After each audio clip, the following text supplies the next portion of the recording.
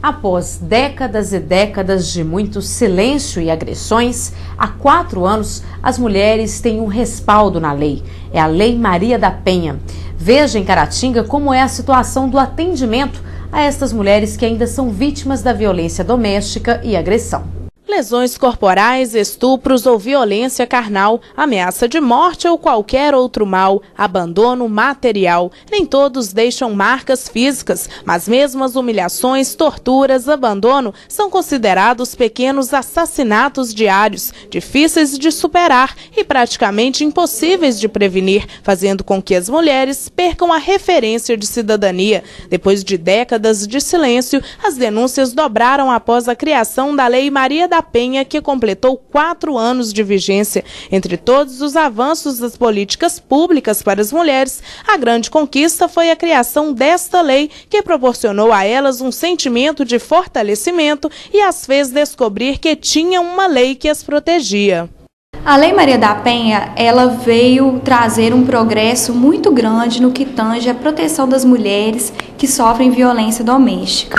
Então, antes, esses crimes eram tratados pela Lei 9.099, que é a Lei dos Juizados Especiais, e era feita uma audiência de transação penal, muitas vezes pagava uma cesta básica pela agressão, né? então não havia uma resposta mais enérgica do Estado. E agora, com a Lei Maria da Penha, né, cabe prisão em flagrante dos autores desse, desses crimes, né? cabe uma investigação mais apurada e uma resposta mais expressiva do Estado. Conhecida com o nome de Maria da Penha, a Lei 11.340 foi aprovada pelo Congresso Nacional e sancionada pelo presidente Luiz Inácio Lula da Silva em 7 de agosto de 2006. Ela cria mecanismos para coibir a violência doméstica e familiar contra a mulher. Dentre as várias mudanças promovidas está o aumento no rigor das punições das agressões contra a mulher quando ocorridas no âmbito doméstico ou familiar. Em um ano e meio da criação da delegacia especializada de Orientação e Proteção à Família de Caratinga, muito já foi e continua sendo feito. Minas Gerais conta com aproximadamente 800 municípios e somente 44 municípios do estado conta com a delegacia especializada de crimes contra a mulher. E Caratinga saiu à frente, né? Tem aí a delegacia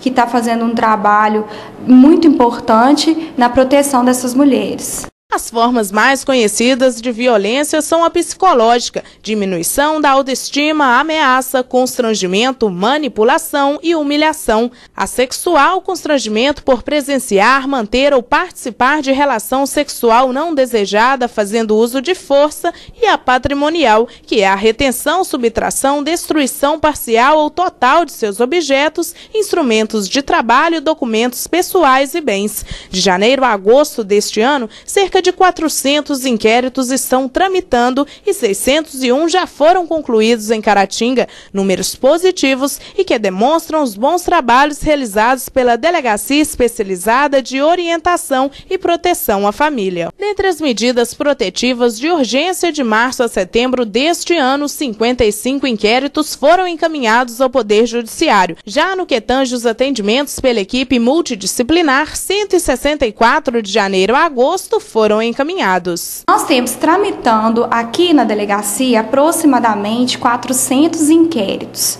né, que estão tramitando ainda está sendo realizada diligências nesses inquéritos, mas nós já concluímos de janeiro a agosto, nós temos um acordo de resultados com o Estado de Minas Gerais, que nós teríamos que ter concluído 136 inquéritos, mas nós já concluímos 601 inquéritos, né? Então nós temos esses 400 ainda tramitando, mas nós já, já encaminhamos ao Poder Judiciário 600 investigações já dos crimes totalmente apurados. Além disso, desde que a delegada de polícia Nayara Travassos assumiu esta delegacia em Caratinga, diversos trabalhos de polícia comunitária itinerante já foram realizados no bairro Doutor Eduardo, em Santa Efigênia e Santo Antônio do Manhuaçu.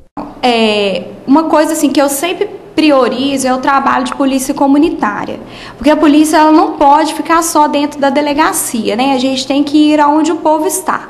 Então nós é, realizamos várias, em várias situações aí um trabalho de polícia comunitária, de polícia itinerante, né? montamos a delegacia de mulheres em escolas, né? em, em tendas, onde nós levamos a nossa equipe né? para dar atendimento ao público. Né? Nós já estivemos no bairro Doutor Eduardo, em Santa Efigênia, em Santo Antônio do Manhuaçu, até aqui em Caratinga mesmo na praça, a gente já atendeu. Apesar de ter uma delegacia especializada, leis que as defendam, as mulheres continuam sendo vítimas não só desses tipos de violência, mas também de seu próprio medo em registrar a queixa ou dar continuidade ao processo de denúncia.